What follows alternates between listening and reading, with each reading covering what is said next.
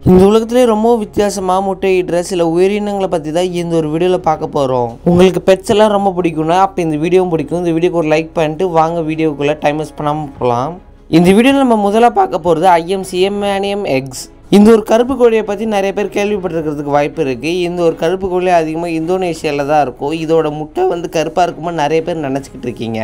ஆனால் அதுக்கு முன்னாடி ஒரு குட்டி இன்ஃபர்மேஷன் இந்த ஒரு கோழியும் நார்மலான கோழியிலேருந்து வேற வகை கோழியோட இனப்பெருத்து தான் இப்படி ஆயிடுச்சு.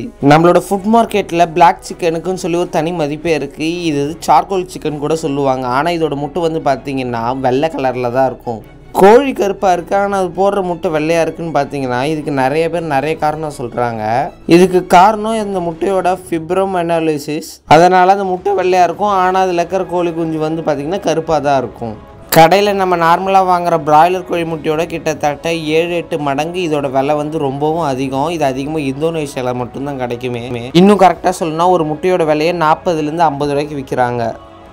இந்த வீடியோவில் நம்ம ரெண்டாவதாக பார்க்க போகிறது டக் எக்ஸ் அதாவது வாத்து முட்டை கிட்டத்தட்ட கோழி முட்டையோட வாத்து முட்டை ரொம்ப பெருசுன்னு சொல்கிறாங்க டக்லேயே நிறைய ஸ்பீஷீஸ் இருக்குது அதில் ஒன்று எந்த ஒரு கலரு அடுத்து இன்னொன்று ஒயிட்டு அடுத்து இன்னொன்று க்ரீனு இந்த மாதிரி கலர் வெரைட்டிஸில் இருக்குது அது மட்டும் இல்லாமல் நார்மல் கோழி முட்டையும் வாத்து முட்டையும் வச்சு பார்த்தீங்கன்னா வாத்து முட்டை ரொம்ப பெருசாக இருக்கும்.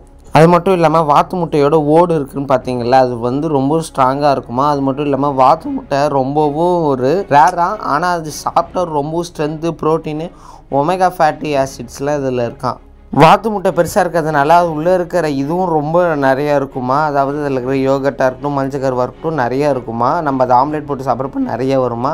அது மட்டும் இல்லாமல் சாதா பிராய்லர் கோழி முட்டையோட இந்த வாத்து முட்டையை நீங்கள் சாப்பிட்றப்ப டேஸ்ட் இன்னும் சூப்பராகவே இருக்குன்றாங்க இந்த வீடியோவில் நம்ம மூணாவதாக பார்க்க போகிறது ஈமு கோழி முட்டைகள். இதோட முட்டை கிட்டத்தட்ட பிராய்லர் கோழி முட்டையோட கிட்டத்தட்ட பத்து மடங்கு பெருசாக இருக்கும். கிட்டத்தட்ட ஒரு கருங்கல் மாதிரி இருக்கும். இந்த ஈமு கோழி வேணும்னா நம்ம அதிகமாக இங்கெல்லாம் பார்க்க முடியாது. வேணால் ஜூவில் வேணால் பார்க்கலாமே தவிர ஆஸ்திரேலியாவில் தாங்க அதிகமாக பார்க்க முடியும். நம்ம இது இந்தியாவிலலாம் இந்த மாதிரி முட்டைகள் விற்கிறது கிடையாது. இந்த முட்டைக்குள்ளே இருக்கிற மஞ்சக்கரு மட்டுமே நாற்பத்தஞ்சு பர்சன்டேஜும் வெள்ளைக்கரு ஐம்பத்தஞ்சு பர்சன்டேஜும் இருக்குமா? இந்த ஒரு முட்டை வந்து கிட்டத்தட்ட ஒரு பெரிய சைஸ் கேக் செய்யலாமா? அப்படி இல்லைன்னா நீங்கள் ஆம்லேட்டாக போட்டு சாப்பிட்றீங்கன்னா ஒரு நாலுலேருந்து அஞ்சு பேர் தாராளமாக சாப்பிட்லான்றாங்க.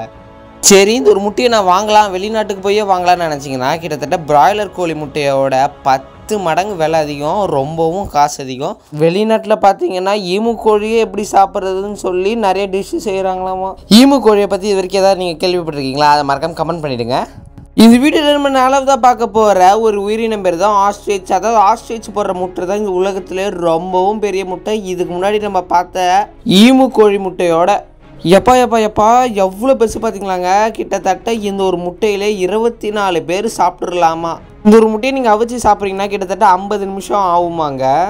இது ஒரு முட்டை நார்மலான சிக்கன் எக் மாதிரி தான் ஆனால் இதில் பெருசாக இருந்தால் அப்படி இருக்கும்? இதை நீங்கள் உடைக்கிறது ரொம்ப ஈஸியெல்லாம் கிடையாது. சில பேர் டூல்ஸ் எல்லாம் வச்சு கூட உடைச்சிருக்காங்க. இது நீங்கள் நார்மலாக போட்டு ஆம்லேட்டாக சாப்பிட்றீங்கன்னா வெல் குட் ஆனால் இதில் நிறைய ப்ரோட்டீன்ஸும் நிறைய கேலரிஸும் இருக்குது ஆனால் இதை நீங்கள் ஒரே ஆளாக சாப்பிட்டீங்கன்னா நீங்கள் மறுகையாக தான் ஏன்னா இதில் எக்கச்சக்கமான கேலரிஸ் கிட்டத்தட்ட டூ தௌசண்ட் அளவு கேலரிஸ் இருக்குது அதனால் உங்கள் வீட்டில் இருக்கிறவங்க குடும்பத்தோடு சேர்ந்து சாப்பிட்டீங்கன்னா அது ஓகேவாக இருக்கும். ஆஸ்ட்ரேலியா பற்றி மாஸ்டர் படத்தில் விஜய் சேதுபதி என்ன ஒன்று சொல்லியிருப்பாரு. தெரிஞ்ச மறக்க மறக்காம கமெண்ட் பண்ணிவிடுங்க இந்த வீடியோவில் நம்ம அஞ்சாவதாக பார்க்க போகிறது குவால் குவால்னால் ஒன்றும் இல்லைங்க. காடை காடை முட்டையை இது வரைக்கும் பார்க்காத ஆளே இருந்திருக்க மாட்டாங்க.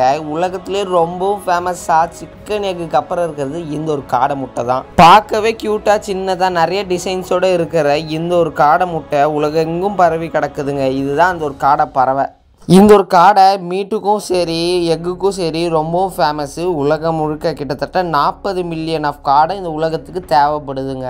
இப்போ நீங்கள் நார்மலாக ஒரு சிக்கன் எக்கு சாப்பிட்றதுக்கு பதிலாக நாலு காடை முட்டை சாப்பிட்டாதான் அது வந்து கொஞ்சம் திருப்தி ஆகுன்றாங்க அது மட்டும் இல்லாமல் காடை முட்டை எல்லாம் இது வரைக்கும் ட்ரை பண்ணாதவங்க இதெல்லாம் வேஸ்ட்டா அப்படின்னு கேட்டிங்கன்னா ட்ரை பண்ணி பாருங்கள் இது ஊர்லேயும் நிறைய ஃபோர்டீன் கலோரிஸ் இருக்குது விட்டமின் சத்து இருக்குது முக்கியமாக விட்டமின் பி டுவெல் அப்படின்ற ஒரு சத்து இதில் இருக்கான் இதை நீங்கள் அவிச்சு சாப்பிட்டு பார்த்தீங்கன்னா ரொம்பவும் குட்டியாக க்யூட்டாக இருக்கும். அப்படி இல்லைன்னா நான் ஆம்லெட்டாக போட்டு சாப்பிட்றோன்னா அது ரவ்வோண்டு தான் இருக்கும். இப்போ நீங்கள் சில இடத்துல பார்த்துருப்பீங்க இதெல்லாம் வந்து பார்த்திங்கன்னா இது மாதிரி ஸ்டிக்ஸில் வச்சு தருவாங்க. அதுவும் சாப்பிட்டு பாருங்கள் நல்லாயிருக்கும் இந்த வீடியோவில் நம்ம ஆறாவதாக பார்க்க போகிறது டர்க்கி டர்க்கின்னொன்னே நாங்கள் அப்படியே ஊர் பேர் சொல்கிறோன்னு நினச்சிக்காதீங்க. டர்க்கின்றது ஒரு பறவை பேர் தான். கிட்டத்தட்ட அதாவது ஆல்மோஸ்ட் மயிலோட இன்னொரு பேர்டு மாதிரி இருக்கும். இந்த ஒரு முட்டையும் கோழி முட்டையோட கொஞ்சம் பெருசாக தாங்க இருக்கும். ஆனால் அந்த ஒரு டர்க்கிலேயே ரொம்பவும் நீங்கள் ஒத்து பார்த்தீங்கன்னா ஒரு யுனிக்கானது இந்த மாதிரி முட்டைகள் இருக்கும்.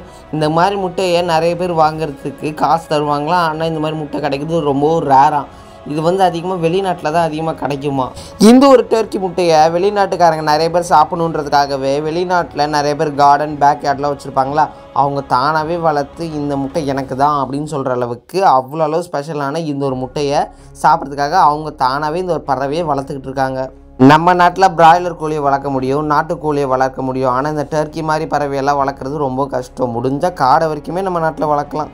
இந்த வீடியோ நம்ம அடுத்ததாக பார்க்க போகிறது சதன் கிராஸ்வே எக்ஸ் இந்த ஒன்று கிட்டத்தட்ட ஆஸ்ட்ரிச் மாதிரி ஈமு கோழி மாதிரி இருக்கும். இதுக்கு நேட்டிவ் வந்து ஆஸ்திரேலியா. இந்த உலகத்திலே செகண்ட் ஹெவியஸ்ட் பேர்டு வெயிட்டாக இருக்குமாங்க இந்த ஒரு கோழி. இந்த ஒரு கோழியை வந்து ரொம்பவும் அக்ரெசிவான கோழின்றாங்க. அதாவது இந்த ஒரு கோழிக்கே கோபம் வந்து ஆளுங்களை கொத்திடுமா? இந்த ஒரு கோழி ஒரே நேரத்தில் கிட்டத்தட்ட மூணுலேருந்து அஞ்சு எக்ஸை வந்து வெளியிடுமா? இந்த ஆண் கோழி அதுலேருந்து பொறிஞ்சு வர குழந்தைங்கள கொஞ்ச நாள் பார்த்துக்குமா? கிட்டத்தட்ட நைன் மந்த்ஸ் வரைக்கும் இந்த ஒரு கோழியை பத்திரமா பார்த்துக்குமா? அப்புறம் அந்த கோழிகள் பெருசானோடனே தானாகவே வெளியில் விட்டுருவாங்களாம் அதுக்கப்புறம் இந்த ஒரு கோழியோட முட்டை அல்வாசி வந்து க்ரீன் கலரில் இருக்குமாங்க. க்ரீனிஷ் கலரில் இருக்குமா? இந்த கோழியும் கிட்டத்தட்ட ஈமு கோழி மாதிரி ஆஸ்ட்ரிச் கோழி மாதிரி படா சைஸான கோழி பார்க்கவும் அதே மாதிரி தான் இருக்கும். இதோட முட்டை ரொம்பவும் பெருசு. அது மட்டும் இல்லாமல் இதுக்கு அடிக்கடி வேற கோவம் வந்துக்கிட்டே இருக்குமா? வெளிநாட்டில் தான் இருக்குமா? ஆஸ்திரேலியா தான் இதோட நேட்டிவ் பிளேஸ்ன்றாங்க ஓகே வியூவர்ஸ் இன்னைக்கான வீடியோ முடிஞ்சிருச்சு இந்த வீடியோ பிடிச்சிருந்தா லைக் பண்ணுங்க ஷேர் பண்ணுங்க. மறக்காம நம்ம சேனலை சப்ஸ்கிரைப் பண்ணுங்க. இன்னும் சூப்பரான வீடியோ பார்க்கலாம். Tata bye C you